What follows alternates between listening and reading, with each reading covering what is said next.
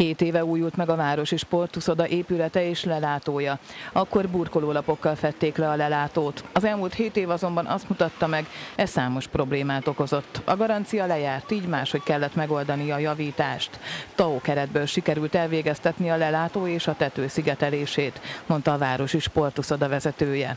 Az a probléma, hogy ott, ahol csempéről beszélünk, burkolólapokról, ott sajnos az idő, az idő vasfoga, a fugákba befolyó víz, stb. ez utána fölfagyásokat okozott, ezáltal a víz megtalálja a helyét, ez biztos.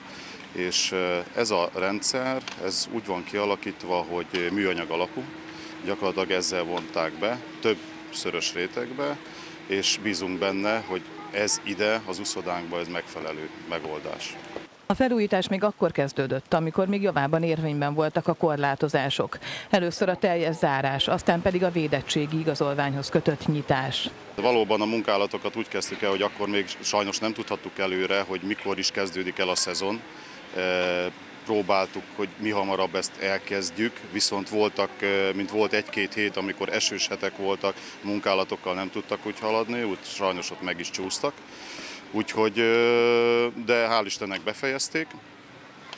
Jó időnk van, úgy látom, hogy az emberek azért nagyon-nagyon visszaszoktak, tehát jöttek új arcokat is látni, hál' Istennek. Németi Barna elmondta, volt olyan hat hónap, amit szörnyű volt átélni. Nagyon rossz volt látni az üresen Kongó úszodát. Az viszont nagy öröm volt, hogy nagyon sokan visszatértek, amikor újra nyitni lehetett. Még akkor is, ha szükség volt a védettségi igazolványra.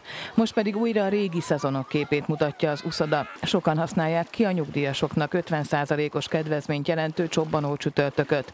Folyamatosan zajlanak a vízilabdások alapozó és felkészülő edzései, de az úszótanfolyamok és a táborok is.